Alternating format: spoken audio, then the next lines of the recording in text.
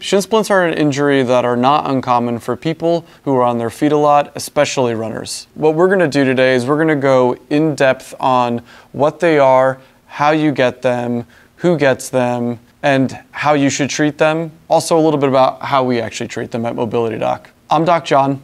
I'm Dr. Chloe Costigan. And we are the owners of Mobility Doc. And what we focus on is how to keep people doing what they love to do. This topic of shin splints is near and dear to my heart currently because um, I can't run right now because I have a pretty bad case of shin splints on my right side. Dr. Chloe went through all the stages of injury, including denial, all the way to acceptance, and then finally creating a treatment plan for herself, uh, as well as I've been treating her uh, at home because we're married. and we also have a really awesome blog that was released recently with the help of both Dr. Chloe and Sasha and I suggest you take a look at that because it's an in depth first person story about what Dr. Chloe's been going through and how she helped herself. Shin splints are a reflection of the fact that your lower body is having a hard time accommodating to the stress that you're putting on that, whether it's weight, um, volume, say, of like running, jumping. Um, or intensity. So, who comes into Mobility Doc, gets on your table, and talks about shin splints the most? So I think of it as kind of being two different people, right? So there's the person who they're they're introducing some amount of like running, sprinting, jumping, um, and their body is just having a hard time accommodating to it. The other person that comes in is someone who is pretty seasoned in terms of running, but something has changed. So they might be starting to do more speed work, they might be starting to do some more elevation, um, or just some more volume. Yeah, we see a lot of lower leg issues in people that are doing a lot of hills, especially. Shin splints I find are not uncommon in weightlifters and powerlifters who are really pushing their squats, especially in weightlifters when they're working on getting depth with their butt all the way down, the uh, butt to grass kind of position. Uh, at that very end of the squat, you can get a good amount of stretch and stress into the shins. Typically, shin splints present um, in two instances throughout the day. So first thing in the morning, um, when all that musculature is a little bit more stiff, um, it might be painful to walk or at least feel like there's like significant tightness and discomfort. And then the other one is when you go to load that area. So whether it's that you're beginning to run, um, you're squatting, you're going up a hill, you'll feel um, some pain in the, um, sometimes in the front of the shin and in varying heights. So it can be up a little bit higher, it can be a little bit closer to the ankle. Sometimes people even feel it in through the back of the leg where it feels almost like a, like a calf cramp or some tightness. Yeah, that's why you should definitely watch all the way through this video because Dr. Chloe is gonna dive deep in nerddom of anatomy yes. and she's going to show you like in great detail the entire span of the muscles that are a part of shin splints, including the connective tissue. And then towards the very end of this, we're going to not only show you what you can do that's a great primer before you run or squat or do your activities, but also how we treat it. If you feel like you've benefited or could benefit from, from what we're sharing with you and you know anyone else who could benefit as well, just give a simple share, send it to a friend, uh, help us to reach more people and help more people. When we talk about shin splints, we're actually talking about a few different areas, but let me orient you though to some of this anatomy. We'll first begin with the bones and the connective tissue. So when we talk about our shin, we're actually talking about two bones. So you have your tibia and your fibula. The other thing that's really important and oftentimes um, isn't really talked about is this interosseous membrane. This is this irregular connective tissue that connects the tibia to the fibula. So it allows for a little bit more support, but it's not as rigid as bone. The thing that's really important about this is that a lot of muscles attach to it. All this red here means that this is where some muscular attachment is.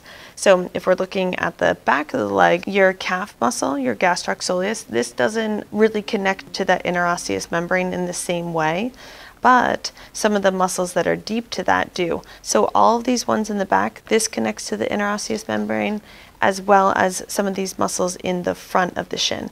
Now the reason why that's important is because shin splints are an irritation of the muscle the connective tissue, as well as the bone. So, in our effort to improve um, our shin splints, we really have to be kind of focused on all of those areas. You feel shin splints the most in the morning time because all of these muscles are really stiff. So, in through the front and also into the back. As you get moving a little bit more, then the muscle and also the interosseous membrane, this connective tissue, this begins to loosen up. So let's talk about the difference between a stress reaction, stress fracture versus shin splints. So the same areas are still involved. So that connective tissue, that interosseous membrane and the bone and the muscle. But what ends up happening is that something like shin splints can turn into something like a stress reaction or stress fracture. What ends up happening is that the bone ends up getting abnormal amounts of irritation through different areas. So if you come, now this is the front of the leg, so you might palpate through front part of the bone and feel some point tenderness, that can be an indication that there's some type of stress reaction.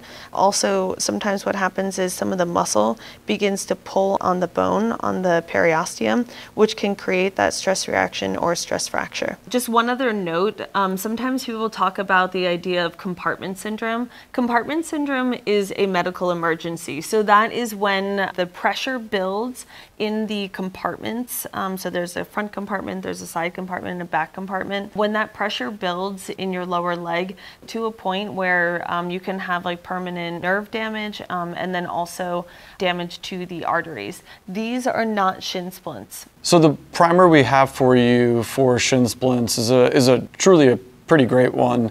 Uh, and you're going to do three rounds of these three exercises, sometimes as many as four rounds of the following. Improve your calf flexibility with this dynamic calf stretch. This is great for shin splints, plantar fasciitis, Achilles tendonitis, calf strain. The most important piece is that you need something underneath your foot in order to be able to get a little bit more of a stretch through your calf. So my heel is on the ground and then my toes are elevated off of the ground. So you can use something like this wedge or a rolled up yoga mat or even a towel. I'm gonna have my hips over my ankle. My hands are gonna be resting on this box. They could also be on these blocks where wherever I can be so then my back can stay flat. Most people can't bring their hands down toward the ground. So with my hips over my over my ankle, my knees bent, I'm going to bend and straighten my knee. So as I straighten my knee, I should feel that stretching throughout my entire calf. If you're really tight, you might not be able to straighten your knee. That's fine. If you're not feeling as much of a stretch, then you can go down to something a little bit lower but just make sure though that you're keeping your your back flat so then you're not rounding because then we're going to be getting a stretch throughout the entire calf and even some of the hamstring but we're stretching in a functional position do at least 10 to 15 reps and do this for a total of three times. Over the course of the repetitions, you're going to slowly begin to improve some of that flexibility, so don't force it in the very beginning. These heel toe slides were developed by a US men's gymnastics coach in order to help the athletes prevent shin splints. What you're going to do to get started is you're going to think of your both of your feet as a single unit. So I'm starting with my toes pointing forward. I'm going to come up on my toes. I'm going to shift to the side, bring my heels down, then lift my toes up and then place them down. So I'm going to alternate between going up on my toes and then on my heels. And you want to go both directions. What I'd suggest is doing 10 to 15 repetitions, um, going each way and doing that three times. A great exercise that you can try would be a high knee skip. The reason why we're doing the high knee skip is to introduce some load back into the lower leg, your calf, your Achilles, and the muscles in the front of your shin themselves. So what we're gonna do is we're gonna do a little bit of a high knee and a skip on the foot that's down. And it might take a little practice to get comfortable with or used to, but it's really not so bad. So what you're gonna do is, is you're going to bring one leg up and then skip obviously on the down leg. So I'm gonna double tap on the leg that's down. You don't have to worry about going fast. It's kind of like I'm doing the running man. Focus on skipping low while bringing the other knee up into the air. You're going to do about 20 or so. You can also measure it out in distance. The most important part again is that you're skipping on that down leg as you bring the other knee up. Place this just before you go out for a run, just before you do whatever activity you're going to do that is dynamic and involves your lower body. You're going to start off with a dynamic calf stretch. You're going to do 10 to 15 repetitions. Then you're going to move on to heel toe slides, doing 10 to 15 each direction. Finally, you're going to do 10 to 15 high knee skips on each side. You're going to repeat that for a total of three rounds. Do this prior to working out because it's going to be a really great way to introduce some range of motion to that area and get those muscles firing. When I treat shin splints, um, I focus on the entire lower leg. So the way we typically think of the calf, um, as well as the front of the leg through like that shin area and even the foot. Because um, if you remember, some of the muscles that are in the shin area, they connect um, into the bottom of the foot as well. So we need to go through the entire length of the muscle what I typically do is I first start with doing something like um, ischemic compression, soft tissue mobilization. That's what sometimes we call like this like trigger point therapy. What I'm trying to do is I'm trying to find just some of these areas that feel tight. I want the muscle to be in a relaxed position. So if I did this in a standing position, I won't be able to get as deep. The other thing that I like to do is bend the knee because then I can get a little bit deeper. Does it feel like that? Yes. Yes. And then I can also then get to this like front shin area as well. So I'm going a, along the entire length of that muscle and I'm doing this for at least 15 minutes or so because there's a lot of musculature to, uh, to work through after that, what I'm going to do is I'm going to do some type of instrument assisted soft tissue mobilization, what we call Graston or sometimes scraping. So I'm using some type of emollient because this is going to be helpful for reducing some of the friction. And then I'm going to go throughout the entire, um, throughout that entire area along that musculature. Um, avoid any bone because you're only going to hurt yourself. You're not going to help yourself with that. Another thing that I like to do is to use a massage gun. We um, use the Hyperice, the Hypervolt. Um, this is really helpful for improving some blood flow to an area, um, as well as um, providing some deep pressure, which is going to be helpful for getting that musculature to relax. Vibration is also really helpful for getting the, the muscle to relax as well. Again, what I need to do is I need to go through the entire length of the muscle, um, and then also even into that bottom part of the foot.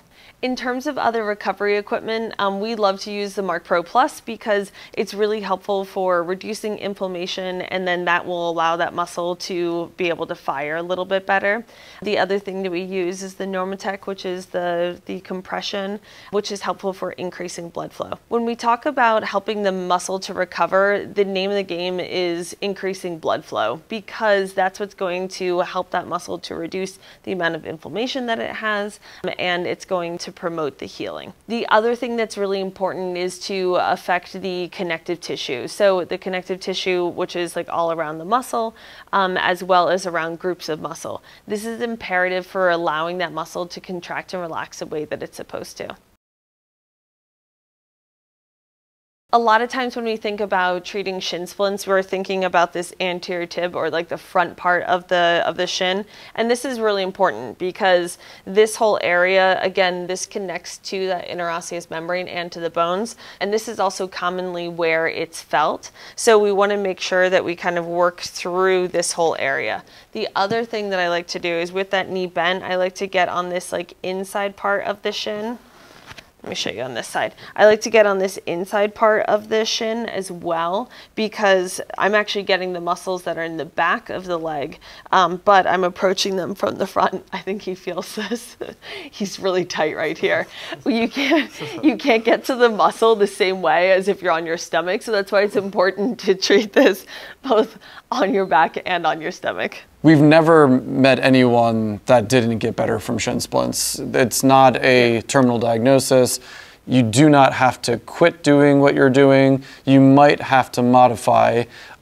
I will add that, and we get into this in the anatomy section, but shin splints can turn into stress reactions, and those could turn into stress fractures, which is why it's very important to not only react to the shin splint, but to get ahead of it. And if you find that you're someone who has this reoccurring issue, consider doing the primer that we're giving you in this as just your regular daily warm up or cool down because you can you, you can avoid just a lot of complication and avoid stopping sometimes people say that they have recurring shin splints, you know, so every time I try to increase my volume or every time I try to um, do some more hills, I always get shin splints. And really, honestly, what that just means is you just haven't done what really will help you to be able to address this. So here we are today um, giving you some of the, um, some of the knowledge um, and also some recommendations of ways you can actually address it. Yeah.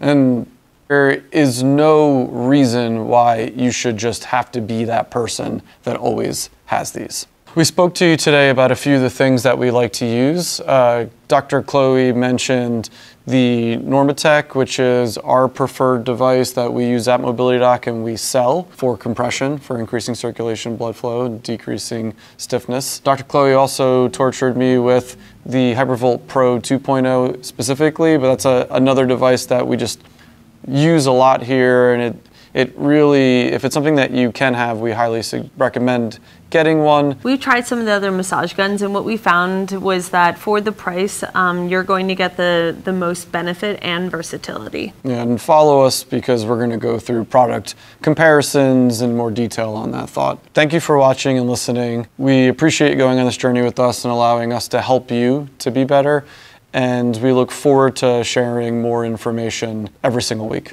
Join all of our socials YouTube, Instagram, TikTok, Threads, and all of the ones that keep popping up because we are going to continue to use our experience with thousands of patients and our own personal experiences because we are just like you to be able to give you what you need to help yourself to never stop.